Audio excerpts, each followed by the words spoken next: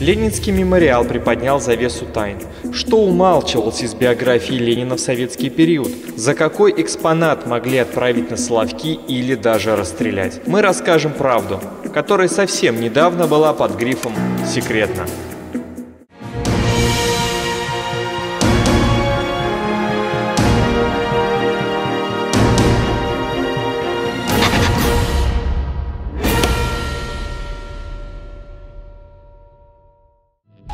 Ленинский мемориал, один из самых грандиозных памятников Владимиру Ленину, находится на крутом Волжском склоне в Ульяновске. Здесь под сводами мемцентра стоит дом, где родился вождь Великой Российской революции. Здесь же хранится его посмертная гипсовая маска, выполненная скульптором Сергеем Меркуровым сразу после смерти вождя мирового пролетариата в 1924 году.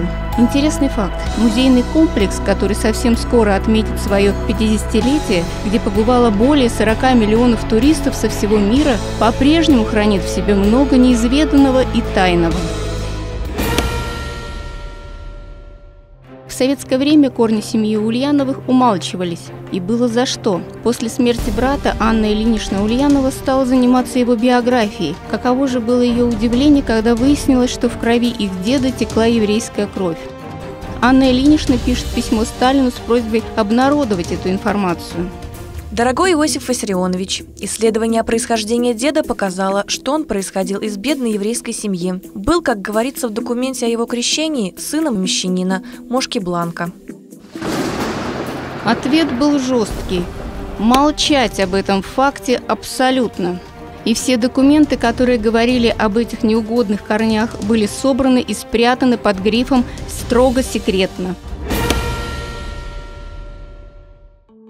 Другая, не менее интересная тема в советское время долго оставалась под грифом «секретно». Это отношение Владимира Ильича и его соратницы Инессы Арманд.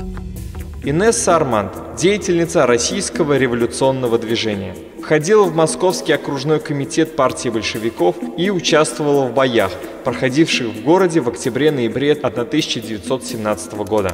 Возглавляла женский отдел ЦК РКПБ и была организатором первой международной женской коммунистической конференции. Образ Ильича представлялся исключительно идеальным однолюбом. Но был такой факт, когда отношения между Инессой и Владимиром приобрели довольно близкий характер. Свои чувства они изливали в письмах. Когда Крупская увидела, что отношения заходят э, далеко, однажды она сказала, Володя, прими решение, во всяком случае остались такие воспоминания. И Володя принимает решение э, после вечернего разговора. Утром он переходит в своих обращениях СНС «Арманд» на «вы», После этого Ленин разорвал близкие отношения с Арманд и попросил вернуть все его письма, которые впоследствии уничтожил. К счастью, сохранились несколько писем самой Инессы, которые та писала уже после расставания. Расстались, расстались, мой дорогой, с тобой. Это так больно. Я знаю, я чувствую, что никогда ты сюда не приедешь. Глядя на хорошо знакомые места, я ясно осознала, какое большое место ты занимал в моей жизни, что почти вся деятельность здесь, в Париже, была тысячу нитей связана с мыслью о тебе. В 1920 году Арманд умирает от испанки. Владимир Ильич идет за гробом и несет огромный венок, Многие его современники отмечали, что ее смерть далась Ленину очень тяжело. Некоторые считают, что это одна из причин, которая негативно отразилась на его здоровье. В Ленинском мемориале хранятся экспонаты, связанные не только с деятельностью Ильича, но и его соратников. Некоторые из них чудом уцелели и сохранились до наших дней. К ним относятся прежде всего изображение Льва Троцкого. Лев Троцкий Революционный деятель, один из организаторов Октябрьской революции, один из создателей Красной армии. В первом советском государстве занимал пост наркома по иностранным делам, а впоследствии по военным и морским делам. Долгое время был фактически вторым лицом в государстве. В противостоянии со Сталином потерпел поражение и был выслан из страны. Даже за попытки сохранения трудов Троцкого в советское время могли дать высшую меру наказания. Поэтому сегодня бюст политика для Ленинского мемориала очень ценный экспонат, раритет. Э, если так можно сказать, мы гордимся тем, что в нашем музее хранится вот такой бюст э, Льва Давыдовича Троцкого, который сохранился чудом в одной из мастерских Санкт-Петербурга. Такие бюсты, такие экспонаты – это очень и очень большая редкость сегодня в музеях. Не прошло и несколько лет, как ситуация стала повторяться уже с самим Сталиным.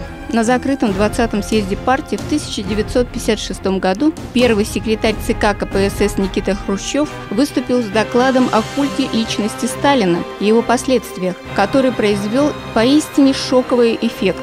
Тогда же были приняты секретные решения об уничтожении всего, что было связано со Сталиным.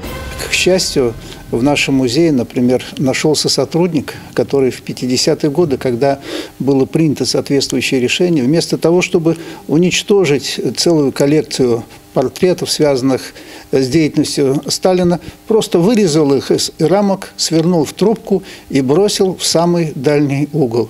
И вот таким чудом сохранилась целая коллекция. Э, но, к сожалению, это было не везде и не всегда. Интересно, что на смену Хрущева пришел Брежнев, который стал уничтожать все, что связано с предыдущим руководителем партии. Сегодня в Ленинском мемориале не могут найти ни одного нормального портрета Хрущева, хотя он висел во всех кабинетах.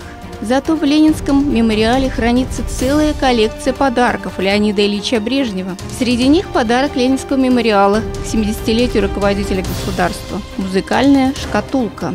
Внутри находился японский магнитофон, равный по стоимости автомобилю.